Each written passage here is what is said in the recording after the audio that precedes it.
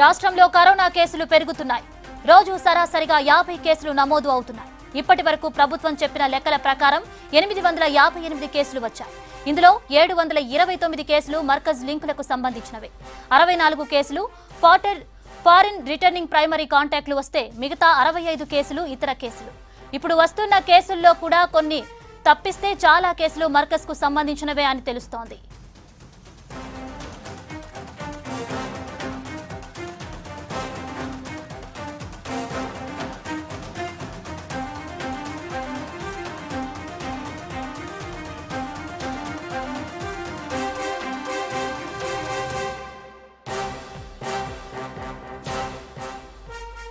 రాష్ట్రంలో కరోనా కేసులు పెరుగుతున్నాయి. రోజు సరాసరిగా యాభై కేసులు నమోదు అవుతున్నాయి. ఇప్పటి వరకు ప్రభుత్వం చెప్పిన లెక్కల ప్రకారం ఎనిమిది వందల యాభై ఎనిమిది కేసులు వచ్చాయి.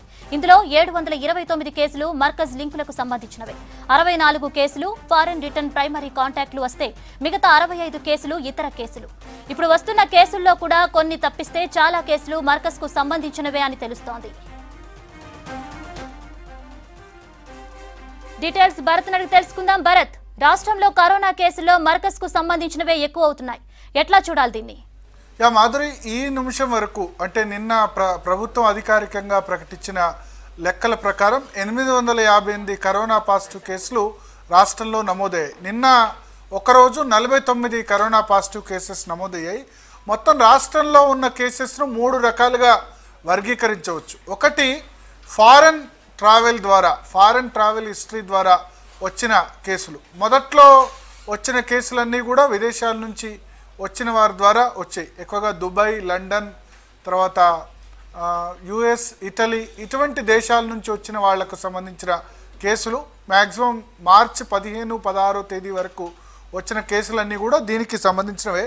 టోటల్ కేసులు ఫారెన్ ట్రావెల్ హిస్టరీ ద్వారా వచ్చిన కేసులు అరవై నాలుగు. అరవై నాలుగు కేసుల్లో ముప్పై నాలుగు కేసులు ముప్పై నాలుగు మంది స్వయంగా వాళ్ళు ఫారెన్ నుంచి వెళ్ళి మళ్ళీ రిటర్న్ వచ్చారు. వచ్చిన తర్వాత ఇక్కడ టెస్ట్ చేస్తే వాళ్ళకు కరోనా పాజిటివ్ వచ్చింది. ఆ ముప్పై నాలుగు మంది ద్వారా మరొక ముప్పై మందికి కరోనా సోకింది so total foreign travel history ద్వారా వెళ్ళిన వాళ్ళు వాళ్ళ ప్రైమరీ కాంటాక్ట్స్. ఈ టోటల్ కేసెస్ సంఖ్య అరవై నాలుగు. ఇప్పుడు ఈ ఫారెన్ ట్రావెల్ హిస్టరీ ద్వారా వచ్చిన కేసులకు సంబంధించిన పూర్తి కేసులు కూడా ఆగిపోయాయి. ఇప్పుడు ఈ అరవై నాలుగు కేసుల తర్వాత గత వారం పది రోజులుగా ఒక్క కేసు కూడా వీళ్ళకు సంబంధించి నమోదు కావట్లేదు. కారణం ఏంటంటే ఏప్రిల్ ఇరవై రెండవ తేదీ సారీ మార్చి ఇరవై రెండవ తేదీ తర్వాత విదేశాల నుంచి ఫ్లైట్లన్నీ కూడా ఆగిపోయాయి. విదేశాల నుంచి ఏ ఒక్క విమానం కూడా భారతదేశంలో దిగలేదు. ఫోర్టీన్ డేస్ క్వారంటైన్ పీరియడ్ కూడా అందరిది కూడా విదేశాల నుంచి వచ్చిన వారిది ముగిసింది. సో ఇప్పుడు ఈ అరవై నాలుగు కేసులకు మించి అవి పెరగటం లేదు. దానికి రీజన్ ఏంటంటే ఆ విదేశాల నుంచి వచ్చిన వారిని క్వారంటైన్లో సమర్థవంతంగా పెట్టడం. ఇక రెండవ సంబంధించిన case Markaz Nizamuddin related cases. ఇవి ఏడు వందల ఇరవై తొమ్మిది ఉన్నాయి. ఎనిమిది వందల యాభై ఎనిమిది కేసుల్లో ఏడు వందల ఇరవై తొమ్మిది కేసులు మర్కజ్ నిజాముద్దీన్ వెళ్ళి వచ్చిన వారు వాళ్ళ ప్రైమరీ కాంటాక్ట్స్ స్వయంగా మర్కజ్ నిజాముద్దీన్ వెళ్ళి వచ్చిన వాళ్ళకు దాదాపు రెండు వందల నలభై మందికి కరోనా వచ్చింది. రాష్ట్రం నుంచి దాదాపు వెయ్యి మందికి పైగా వెళ్ళారు అనుకుంటున్నారు. వెయ్యి తొంభై ఆరు మందిని ప్రభుత్వ లెక్కలు చెప్తున్నాయి. కేంద్ర హోంశాఖ లెక్కలు చెప్తున్నాయి. ఈ వెయ్యి తొంభై ఆరు మందిలో రెండు వందల నలభై మందికి వాళ్ళు మర్కజ్ వెళ్ళి స్వయంగా వెళ్ళిన వాళ్ళకు వచ్చింది. అంటే ఆల్మోస్ట్ ట్వంటీ ఫైవ్ పర్సెంట్ పీపుల్కి మర్కజ్ ఎవరైతే వెళ్ళారో వాళ్ళందరికీ కూడా కరోనా పాజిటివ్ వచ్చింది. ఈ రెండు వందల నలభై మంది ద్వారా మరొక దాదాపు మనం లెక్కేసుకుంటే దాదాపు five hundred four ninety five hundred cases వరకు ఈ రెండు వందల నలభై మంది ద్వారా మరొక ఐదు వందల మందికి సోకింది అంటే ఒక్కో పర్సన్ మరొక నలుగురు ఐదుగురికి దాదాపు ఒక్కో పర్సన్ దాదాపు ఇద్దరికి ఈ మర్కజ్ వెళ్ళిన వాళ్ళ ద్వారా ప్రైమరీ కాంటాక్ట్కి వచ్చింది. తలాబ్ కట్టలో అయితే ఒక ఒకే ఫ్యామిలీలో ఇరవై మందికి వచ్చిన పరిస్థితి. అట్లాగే ఆరు కుటుంబాల్లోనే వందకు పైగా కేసులు మర్కజ్ నిజాముద్దీన్ వెళ్ళి వచ్చిన వారు వాళ్ళ కుటుంబ సభ్యులకి వచ్చింది. సో టోటల్ తెలంగాణ కేసెస్లో ఎయిటీ ఫైవ్ పర్సెంట్ కేసెస్ ప్రస్తుతం ఉన్న వాటిలో ఎనభై ఐదు శాతం కేసులు మర్కజ్ నిజాముద్దీన్ వెళ్ళిన వారు వారి సంబంధికులు వారి ప్రైమరీ కాంటాక్ట్స్ వాళ్ళ ద్వారా వచ్చిన కేసులే ఉన్నాయి. ఈ కేసెసే ఇప్పుడు పెరిగిపోతున్నాయి. మొదట్లో దీని శాతం తక్కువ ఉండేది. కానీ రాను రాను రాను రాను ఆ కేసెస్ మర్కజ్ నిజాముద్దీన్ వెళ్ళి వచ్చిన వారి సంబంధించిన రేషియో పెరుగుతూ వస్తుంది. దీనికి కారణం ఏంటంటే కొద్దిమందిని ఇప్పటి వరకు కూడా ట్రేస్ అవుట్ చేయలేదు. వాళ్ళు స్వచ్ఛందంగా పరీక్షలకు ముందుకు రావట్లేదు ఒకటి. రెండవది మర్కజ్ నిజాముద్దీన్ వెళ్ళి వచ్చిన వారిలో సిమ్టమ్స్ చాలా తక్కువగా కనిపిస్తున్నాయి. వాళ్ళ వాళ్ళకు కరోనా పాజిటివ్ వస్తుంది కానీ చూస్తే కనుక ఎటువంటి సిమ్టమ్స్ లేని వాళ్ళు దాన్ని అసిమ్టమాటిక్ పర్సన్స్ అంటారు. అసిమ్టమాటిక్ పర్సన్స్ మర్కజ్ నిజాముద్దీన్ వెళ్ళి వచ్చిన వారిలో ఎక్కువ మంది ఉంటున్నారు. దీనివల్ల వాళ్ళు అనుకుంటున్నారు మాకు ఎటువంటి సిమ్టమ్స్ లేవు కదా టెస్ట్ చేయించుకోకపోతే ఇబ్బంది ఏంటి అని అనుకుంటున్నారు. కానీ ఇరవై ఒక్క మంది చనిపోయారు. ఇరవై ఒక్క మంది చనిపోతే ఫారెన్ ట్రావెల్ హిస్టరీ ఉన్న వాళ్ళు ఎవ్వరు కూడా అరవై నాలుగు మందిలో ఎవరు కూడా చనిపోలేదు. ఇరవై ఒక్క మంది చనిపోయిన వాళ్ళు కూడా మర్కజ్ నిజాముద్దీన్ రిలేటెడ్ ఉన్నవాళ్ళే దాదాపు నైంటీ నైన్ పర్సెంట్ ఉన్నారు. ఎందుకంటే చివరి నిమిషంలో గుర్తి గుర్తించడం లేకపోతే అలక్ష్యం చేయడం నిర్లక్ష్యం చేయడం తర్వాత ఆ, ఫ్యామిలీస్లో ఉన్న వృద్ధులకి రావడం దానివల్ల ఇరవై ఒక్క మంది రాష్ట్రంలో మరణాలు అయితే అందరూ కూడా ఇదే దీనివల్లే చనిపోయారు. ఇక అదర్స్ కేటగిరీ అదర్స్ అంటే హెల్త్ వర్కర్స్ ఉన్నారు. ఇప్పుడు మొన్న నిమ్స్లో ఒక నర్సుకు ఒక ఆయాకు వచ్చింది ఇద్దరికి. అంటే ట్రీట్మెంట్ ఇస్తుండగా వచ్చిన పరిస్థితి ఇక కొద్దిమంది సెకండరీ కాంటాక్ట్స్ ఉన్నారు. కొద్దిమందికి ఎలా వచ్చిందో తెలియట్లేదు ట్రేస్ చేయట్లేదు. మంచిర్యాల్లో ఒక మొన్న ఒక ఆమె చనిపోయింది. జైపూర్ మండలానికి సంబంధించి మంచిర్యాల జిల్లాలో.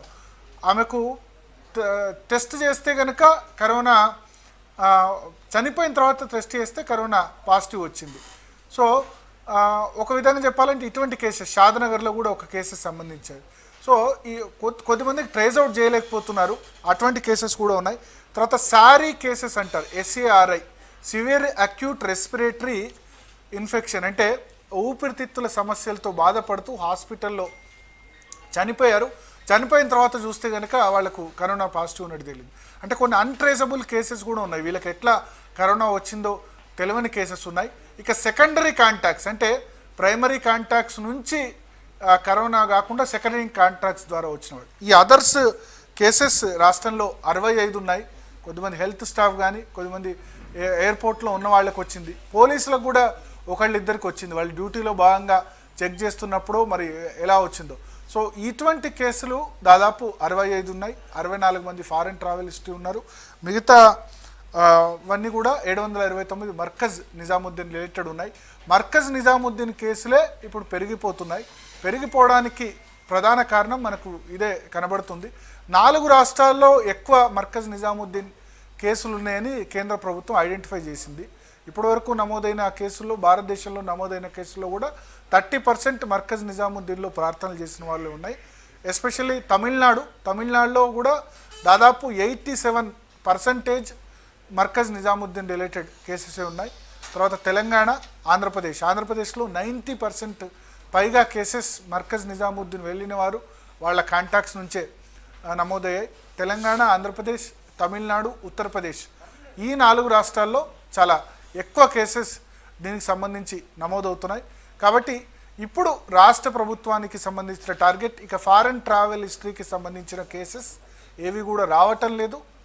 అరవై నాలుగు కేసెస్తో అవి ఆగిపోయాయి. ముప్పై నాలుగు మంది డైరెక్ట్గా విదేశాలకు వెళ్ళారు. ముప్పై మంది వాళ్ళ ద్వారా సోకింది. రెండు వందల నలభై మంది దాదాపు మర్కజ్కి వెళ్ళి వచ్చిన వాళ్ళకి పాజిటివ్ వచ్చింది. మిగతా దాదాపు వాళ్ళ ద్వారా మిగతా వాళ్ళకు four ninety to five hundred people వరకు మర్కజ్ వెళ్ళిన వాళ్ళ ద్వారా వచ్చింది. మిగతా అరవై ఐదు కేసెస్ నేను చెప్పిన ఇతరుల కేసెస్. దీనిలో ఒకటి రెండు మరణాలు తప్ప మిగతా ఇరవై ఒక్క మరణాలు కూడా మిగతా పంతొమ్మిది మరణాలన్నీ కూడా మర్కజ్ నిజాముద్దీన్ వెళ్ళి వచ్చిన వాళ్ళ దానికే సంబంధించింది. సో ఈ స్టాటిస్టిక్స్ ద్వారా ఒకటి ఏం చెప్పొచ్చు అంటే ఎక్కువ మందికి మర్కజ్ ద్వారా సోకుతోంది. వాళ్ళు జాగ్రత్తగా వచ్చి క్వారంటైన్ను పూర్తిగా కనుక ఫాలో అవుతూ వాళ్ళు కోఆపరేట్ చేస్తే ఎక్కువ స్ప్రెడ్ కాకుండా ఉండడానికి ఆస్కారం ఉంటుంది. కేంద్ర ప్రభుత్వం కూడా మొన్న దాదాపు లిస్ట్ రిలీజ్ చేసింది దీనికి సంబంధించి. అప్పుడు దాదాపు డెబ్బై తొమ్మిది శాతం ఉండే తెలంగాణలో అది ఇప్పుడు అంటే తెలంగాణలో నమోదైన కేసుల్లో seventy nine percent Markaz case related case ఉండే. అది క్రమక్రమంగా పెరుగుతూ ఎయిటీ ఫైవ్ పర్సెంట్కి వచ్చింది. ఎందుకంటే మిగతా సెక్షన్స్లో కేసెస్ పెద్దగా నమోదు కావట్లేదు. ఫారిన్ ట్రావెల్ హిస్టరీకి సంబంధించి నమోదు కావట్లేదు కాబట్టి ఈ కేసులు పెరుగుతూ వస్తున్నాయి. సో ఇప్పుడు రాష్ట్ర ప్రభుత్వానికి సంబంధించి ఒకటే ఒకటి టార్గెట్ మర్కజ్ రిలేటెడ్ కేసెస్ అన్నిటి కూడా జాగ్రత్తగా చూసుకొని కంటైన్మెంట్ అక్కడ కంటైన్మెంట్ జోన్స్లో నిబంధనలు స్ట్రిక్ట్ చేస్తే కనుక దీన్ని పూర్తి స్థాయిలో కరోనాను రాష్ట్రంలో నివారించడానికి ఆస్కారం ఉంటుంది. మాదిరి. ఓకే భరత్ మరి ముఖ్యంగా హైదరాబాద్ పరిధిలో మర్కజ్ కేసులే ఎక్కువ బయటపడుతున్నాయి. ఇవి కాక పెరిగే అవకాశం ఏమన్నా ఉందా? దీనికి సంబంధించిన కేసులే ఎక్కువ వస్తున్నాయి. ఇంకా వేరే మార్గాల్లో రావడానికి వీల్లేదు. ఎందుకంటే రాష్ట్రం అంతటా కూడా లాక్డౌన్ విధించారు. ఇప్పుడు వేరే రాష్ట్రాలు చూసుకుంటే మహారాష్ట్రలో నమోదవుతున్న కేసులు మర్కజ్ రిలేటెడ్ చాలా తక్కువ ఉన్నాయి. బట్ అదర్ కేసెస్ అక్కడ ఆల్రెడీ ఫారెన్ ట్రావెల్ ద్వారా వచ్చిన వాళ్ళ ద్వారా కేసులు విపరీతంగా పెరిగిపోతున్నాయి. నిన్న ఒక్కరోజే మహారాష్ట్రలో ఐదు వందల యాభై కేసులు నమోదయ్యాయి. ఇప్పుడు ఇంటర్ స్టేట్ బార్డర్స్ మూసేశారు. విదేశాల నుంచి ఫ్లైట్లు రావట్లేదు. దేశం నుంచి ఫ్లైట్లు రావట్లేదు. వేరే దేశాల నుంచి వేరే రాష్ట్రాల నుంచి వాహనాలు రావట్లేదు. కాబట్టి ఇప్పుడు మన రాష్ట్రంలో మనమే ఉన్నాం. మనం అరికట్టగలిగేది ఫారెన్ ట్రావెల్ హిస్టరీకి సంబంధించిన ఎపిసోడ్ ముగిసింది. అందుకని అప్పట్లో ప్రభుత్వం కాన్ఫిడెంట్గా చెప్పింది. ఏప్రిల్ ఏడు వరకు తెలంగాణలో కరోనా ఉండదని. నిజానికి ఆ వెళ్ళి వచ్చిన వాళ్ళు ఫారెన్ నుంచి వచ్చిన వాళ్ళందరూ కూడా డిశ్చార్జ్ కూడా అయిపోయారు. వాళ్ళ ఏ ఒక్కరి ప్రాణానికి కూడా ప్రమాదం రాలేదు. ఇప్పుడు మర్కజ్ వెళ్ళి వచ్చిన వారి ప్రాణాలకే ఎక్కువ మంది చనిపోయిన వాళ్ళు నైంటీ పర్సెంట్ పైగా వాళ్ళే ఉన్నారు కాబట్టి కొంత వాళ్ళు జాగ్రత్త పడి స్వచ్ఛందంగా ముందుకు వచ్చి ప్రభుత్వాలతో అథారిటీస్తో కోఆపరేట్ చేస్తే కనుక వాళ్ళ కుటుంబాలని రక్షించిన వాళ్ళు అవుతారు మిగతా వాళ్ళని రక్షించిన వాళ్ళు అవుతారు. ఓవరాల్గా తెలంగాణను కరోనా ఫ్రీగా చేసేందుకు కూడా వాళ్ళ సహకారం అన్నది తప్పకుండా అవసరం మాదిరి ఓకే భరత్ అలాగే మర్కజ్ కేసుల నుంచి ప్రైమరీ కాంటాక్ట్ కేసులు పెరిగే అవకాశం ఏమన్నా ఉందంటారా? యా ఇప్పటికే ప్రైమరీ కాంటాక్ట్స్ కేసులు ఎక్కువ ఉన్నాయి. ఇప్పుడు దాదాపు వెయ్యి తొంభై ఆరు మంది వెళ్తే రెండు వందల నలభై మందికి కరోనా పాజిటివ్ వచ్చింది. అంటే twenty five percent corona cases అక్కడికి వెళ్ళిన వాళ్ళలో నలుగురిలో ఒకరికి కరోనా వచ్చింది. దాని తర్వాత వాళ్ళ నుంచి ప్రైమరీ కాంటాక్ట్స్ ఆ రెండు వందల నలభై మంది మరొక నాలుగు వందల తొంభై దాదాపు నాలుగు వందల తొంభై నుంచి ఐదు వందల మందికి మధ్య వాళ్ళ ద్వారా వచ్చింది. అంటే ఒక్కో పర్సన్ కనీసం ఒక ఇద్దరి వరకు ఇన్ఫెక్ట్ చేశారు. ఒక- ఒక పర్సన్ పదహారు మందిని కూడా ఇన్ఫెక్ట్ చేసిన సిచ్యువేషన్ కూడా ఉంది. కొద్దిమంది అసలు ఎవరికి వాళ్ళ కుటుంబ సభ్యులకు కూడా రాలేదు. మరి ఒక- ఇంకో పర్సన్ పదహారు మందికి దీన్ని సూపర్ స్ప్రెడర్స్ అంటారు. అంటే చాలా ఎక్కువ కేసులు నమోదని తలాబ్ కట్టలో ఒక మహిళకు కరోనా పాజిటివ్ వచ్చి ఆమె చనిపోయింది. ఆమె నాలుగు ఆసుపత్రులు తిరిగింది. కోటి హాస్పిటల్ కోటి హాస్పిటల్లో ముందు కార్డియాలజీ అన్నారు. కార్డియాలజీ అంటే మేము చేంజ్ చేసుకో సారీ గాంధీ హాస్పిటల్ మొదలెడితే కార్డియాలజీ రిలేటెడ్ ట్రీట్మెంట్ అంటే అక్కడ దానికి ట్రీట్మెంట్ కార్డియాలజీ రిలేటెడ్ లేదు. ఓన్లీ కోవిడ్ నైన్టీన్కి సంబంధించిన ట్రీట్మెంట్ అంటే నెక్స్ట్ కింగ్ కోటి హాస్పిటల్కి వెళ్ళింది. అక్కడ కూడా ట్రీట్మెంట్ చేయకుంటే మూడు నాలుగు హాస్పిటల్ తిరిగిన తర్వాత ఆమె చనిపోయిన తర్వాత కరోనా పాజిటివ్ అని వచ్చింది. ఆ కుటుంబంలో తలాబ్ కట్టలో ఇరవై ఒక్క మందికి వచ్చింది. సో కొంచెం అజాగ్రత్త వహించడం వల్ల కొంచెం నిర్లక్ష్యం చేయడం వల్ల పూర్తి స్థాయిలో టెస్టులు చేసుకోకపోవడం వల్ల అధికార యంత్రాంగాన్ని కోఆపరేట్ చేయకపోవడం వల్ల మరణాలు పెరుగుతున్నాయి కేసులు కూడా పెరుగుతున్నాయి. ఇప్పుడు ఈ కేసుల కట్టడి చేయాలంటే ముందుకు రావాలి. మత పెద్దలు కూడా ముందుకు వచ్చి వాళ్ళందరినీ పూర్తి స్థాయిలో కోఆపరేట్ చేసి ఇంకా ఎవరైనా కూడా ఎందుకంటే కొద్దిమంది ఇంకా కూడా ట్రేస్ చేయలేకపోతాం అంటున్నారు. కాబట్టి ఎందుకంటే వాళ్ళకి సిమ్టమ్స్ కూడా కనబడట్లేదు. మాకేమైంది మేము చాలా బాగున్నామని అనుకుంటున్నారు. కానీ ఆ బాగున్న బా వాళ్ళకి ఎటువంటి ఇబ్బంది ఉండదు. ఈ కరోనా మనకు తెలుసు. వచ్చిన వాళ్ళ ఫిఫ్టీ పర్సెంట్ మెంబర్స్కి లక్షణాలు కనబడట్లేదు. వాళ్ళు క్యారియర్స్గా పనిచేసి చిన్నపిల్లలకో లేకపోతే వృద్ధులకో వాళ్ళ ప్రాణాలకు ప్రమాదంగా పరిణమించే అవకాశం ఉంది. చివరి నిమిషం వరకే కూడా ఏం జరిగిందో తెలియకుండా చనిపోతున్నారు. మొదలు ఎనిమిది మంది చనిపోయేంత వరకు కూడా అసలు వాళ్ళ కరోనా ఉందని తెలియదు రాష్ట్ర ప్రభుత్వం ఎనిమిది మంది చనిపోయిన తర్వాత అప్పుడు అనౌన్స్ చేసింది. ఇది మర్కజ్ నిజాముద్దీన్ రిలేటెడ్ ఉన్నాయని. కాబట్టి కొంత అధికారులతో కోఆపరేట్ చేయాల్సిన అవసరం ఉంది. అట్లాగే ఆ కంటైన్మెంట్ జోన్స్ కూడా మెజారిటీ దీని రిలేటెడే ఉన్నాయి. కాబట్టి ఆ కంటైన్మెంట్ జోన్స్లో నిబంధనలు కూడా స్ట్రిక్ట్గా ఫాలో కావాల్సిన అవసరం అయితే కనపడుతుంది. మాధురి ఓకే భరత్ అలాగే మన స్టేట్లో చూసినట్లయితే హైదరాబాద్లో ఎక్కువ కేసులు ఉన్నాయి కదా. మరి హెచ్వైడిలో ఎలాంటి చర్యలు తీసుకునే అవకాశం ఉందంటారు హైదరాబాద్లో ఇప్పటికే ఆల్రెడీ కంటైన్మెంట్ జోన్స్లో రాష్ట్రంలో దాదాపు రెండు వందల నలభైకి పైగా కంటైన్మెంట్ జోన్స్ ఉంటే దీనిలో నూట నలభై ఆరు వరకు హైదరాబాద్ సిటీలోనే ఉన్నాయి జిహెచ్ఎంసి లిమిట్స్లోనే ఉన్నాయి. ఆల్రెడీ ఒక ఒక నాలుగైదు రోజుల నుంచి చాలా స్ట్రిక్ట్ చర్యలు తీసుకుంటున్నారు. అంతకుముందు వదిలేశారు. అంతకుముందు పెద్దగా జిహెచ్ఎంసీ మీద కాన్సన్ట్రేట్ చేయలేదు. జిల్లాల్లో కాన్సన్ట్రేట్ చేశారు. ఆ రిజల్ట్ మనకు కనబడుతుంది. కరీంనగర్లో ఫుల్ కాన్సన్ట్రేషన్ పెట్టారు. మొట్టమొదట కేసులు నమోదైంది హైదరాబాద్ బయట కరీంనగర్లోనే. మర్కజ్ కేసులు కూడా హైదరాబాద్ కరీంనగర్ నుంచే బయటకు వచ్చాయి అక్కడ కలెక్టర్ కానీ లేకపోతే అక్కడ పోలీస్ కమిషనర్ కానీ వాళ్ళు స్ట్రిక్ట్గా దాన్ని ఎన్ఫోర్స్ చేయడంతో పద్దెనిమిది కేసులతో కరీంనగర్ ఆగిపోయింది. సరే ఈ వారం రోజుల్లో ఒక కేసు నమోదవుతూ నమోదై ఉండొచ్చు. బట్ కరీంనగర్ వరంగల్ ఇవి రెండు చాలా బాగా పనిచేసాయి అక్కడ కమిషనర్లు కానీ కలెక్టర్లు కానీ డెఫినెట్గా వాళ్ళు అభినందించాల్సింది.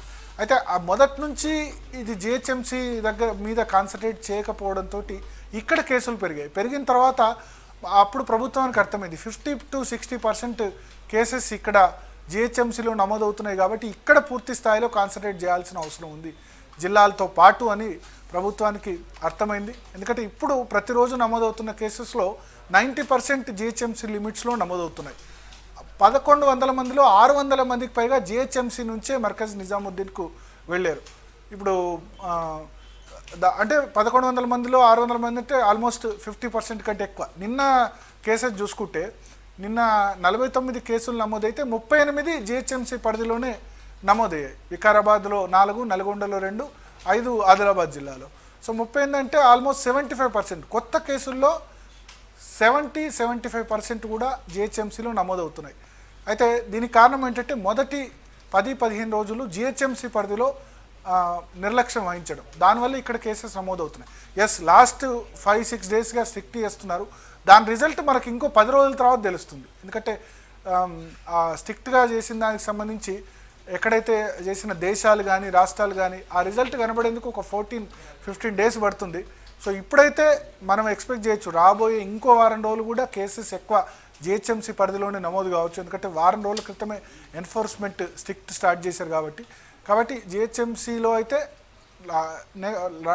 ఫైవ్ డేస్ అయితే లాస్ట్ ఫైవ్ డేస్ నుంచి చాలా స్ట్రిక్ట్గా చేస్తున్నారు. రాబోయే రోజుల్లో కూడా అదే కంటిన్యూ చేస్తారు. సీఎం కూడా దానికి సంబంధించి అదే విధంగా ఆర్డర్స్ ఇచ్చారు. దాని రిజల్ట్ ఇంకొక వారం పది రోజుల్లో కనబడుతుంది. కొత్త కేసెస్ అయితే ఇప్పుడు విదేశాల నుంచి వచ్చిన ట్రావెల్ హిస్టరీకి సంబంధించి లేవు కాబట్టి కంటైన్మెంట్ జోన్స్ను స్ట్రిక్ట్గా చేస్తే సరిపోతుంది. కొత్త కేసెస్ స్ప్రెడ్ కాకుండా ఉంటుంది. అదేవిధంగా కంటోన్మెంట్ జోన్స్లో కూడా ఎవరికైనా ఒకే ఒక ఇంట్లో పాజిటివ్ కేసు ఉన్న వ్యక్తులు లేకపోతే ఒకే ఇంట్లో పది మంది నివసించే సిచ్యువేషన్ ఉంటే దాని మీద కూడా ప్రభుత్వం కాన్సన్ట్రేట్ చేయాల్సిన అవసరం ఉంది. ఆ పది మంది ఒకే ఇంట్లో ఉండలేని సందర్భంలో ఒకే ఇంట్లో ఎక్కువ మంది ఉన్న సందర్భంలో వాళ్ళకి ఏమైనా ఆశ్రయం కల్పించి పది మందికి పది రూమ్స్ పెట్టలేము. ఒకళ్ళకున్న మిగతా వాళ్ళకు వస్తుంది. కాబట్టి అటువంటి దాన్ని కూడా గవర్నమెంట్ ఐడెంటిఫై చేయాల్సిన అవసరం కనబడుతుంది మాదిరి. Okay thank you Bharat.